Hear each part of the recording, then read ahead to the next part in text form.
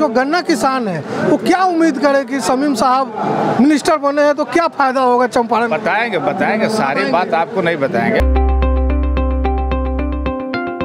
नमस्कार डॉक्टर समीम मोहम्मद गन्ना मंत्री बिहार सरकार इस वक्त मेरे साथ है। सर से छः सात महीना पहले भी मेरी बातचीत हुई थी लेकिन अब वो एक मंत्री की हैसियत से उनसे हम बात कर रहे हैं। सर सबसे पहले तो बहुत बहुत बधाई आप मंत्री बने हैं। चलिए बहुत बहुत इसके लिए मेरे चैनल को शुक्रिया।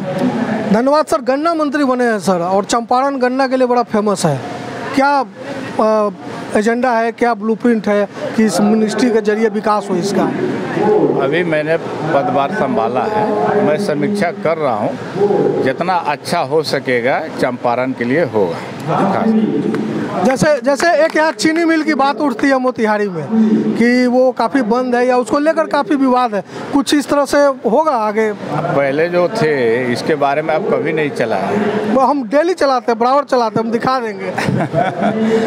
अभी हम लोग बताए ना कि मैं समीक्षा कर रहा हूँ। समीक्षा के बाद जितना अच्छा हो सकेगा चंपारण के लिए खुशखबरी मिलेगी। कल कल फैसल अली जी से बात हो रही थी मेरी तो आपके बारे में भी बात हुई और ये भी बात हुई कि जो नई सरकार बनी है, वो समाजवादी सरकार है और 20 लाख रोज़गार की भी बात हुई। तो गन्ना जो है, चंपारण के लिए रोज़गार से भी जुड़ा हुआ एक बहुत बड़ा मुद्दा है। इसको कैसे आप देखते हैं? हमारे माननीय मुख्यमंत्री जी, ऐतिहासिक जगह से 15 अगस्त के दिन और माननीय हमारे नेता, उप मुख्यमंत्री तेजस्वी प्रसाद यादव ने 10 लाख नहीं 20 लाख रोज़गार देने का वादा किया।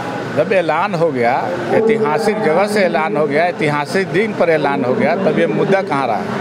अब बच्चा इंतज़ार करे, तैयारी करे, हम लोग रोज़गार देने के लिए तैयार हाँ आप जल्दी में है लेकिन एक अंतिम सवाल सर।